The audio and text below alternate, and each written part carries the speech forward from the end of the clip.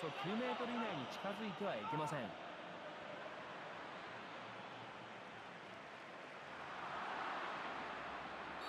このプレーはホイッスル。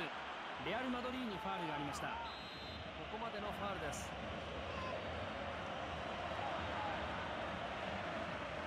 直接ねじ込みました。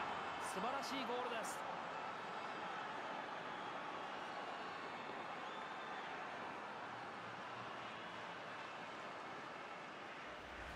うまくチャンスを作りました。いいゴールでしたね堀池さん。直接入りましたね。これは止めようがありません。見事なゴールでした。素晴らしいシュートでしたね。この角度からも見ましょう。